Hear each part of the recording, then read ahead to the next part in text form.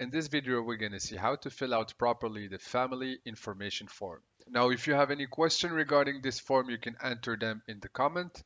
As you can see here, we have the type of applications and this form is actually valid for many purposes.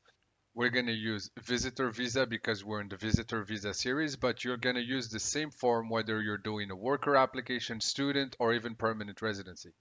Very important here, the government of Canada will use this form over and over again to check that you're actually saying the truth by comparing former applications if you do many.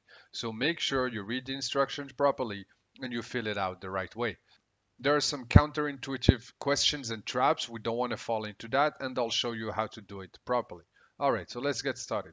First, how to download this form. You're going to find the link in the description. Click on it and if by chance you come on a page like this or the page that says please wait, no worries. Just come here to the top right corner. You click download and then you're going to have the PDF document downloaded to your desktop and you open it with Adobe and it brings us back to here. All right, first section is for the applicant. This is you filling out the form for your family or yourself. So you enter your name. Please here enter your full name as it is written in your passport. That's really important. Do not miss anything. You're going to enter your marital status. Here we have all the different possible type of marital status. Common law means that you are living with your conjugal partner under the same roof for at least one year and you're able to prove it.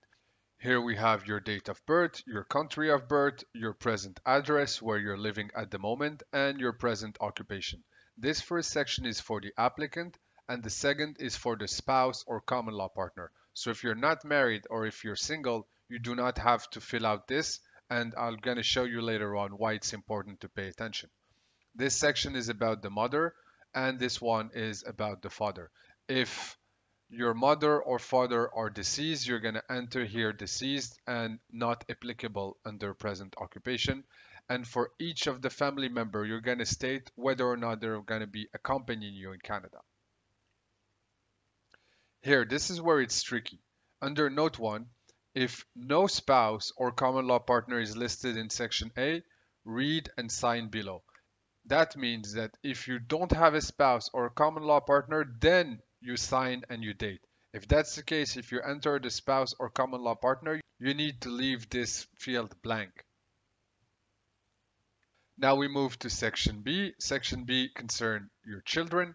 So here you're going to enter the name of the children, their marital status, the relationship, you put child if they're your children, or stepchild, depending on the relationship the date of birth, the country of birth, same thing, the present address and the present occupation, not applicable if they're children.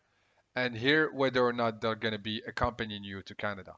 You do that for up to four children. If you have more than four children, then you're going to need to add an annex to this document, call it section B annex with the same format where you have to add all your children. All right. We're going to take an example where the applicant has no children. In this case, you're going to leave this thing blank. And because you left it blank, here you're going to have to sign. So you enter your name and you enter the date here. Now we're going to move to the last table, that's section C, and it concerns brothers and sisters.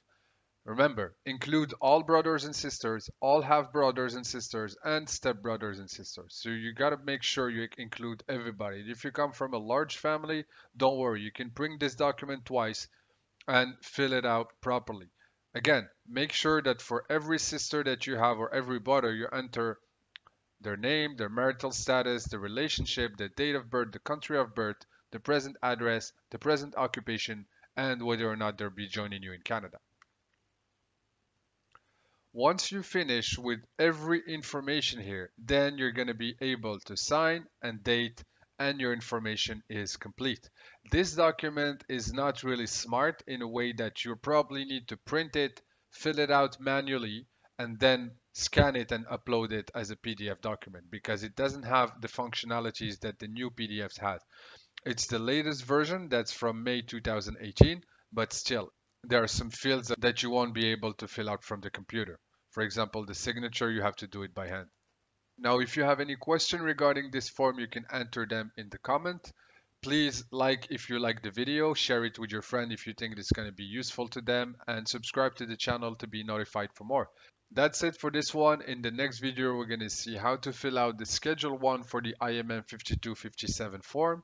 That's for a visitor visa. And till then, and stay tuned, stay healthy, and I'll talk to you very soon. Cheers.